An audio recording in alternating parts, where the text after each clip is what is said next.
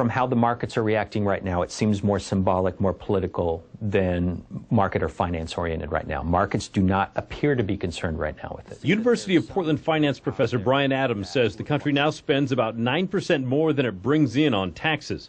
In specific numbers, the projected deficit for the fiscal year that ends in September, $1.4 trillion. So something would have to be cut eventually, but the biggest pots of money belong to the toughest areas to cut. If you want to have a significant impact on the deficit, what has to be on the table are the defense programs, Social Security, Medicare. Those have to be on the table if you're talking about cutting the deficit without increasing revenues. The president said $1 trillion in possible cuts have already been identified, but he said the goal would be 4 trillion.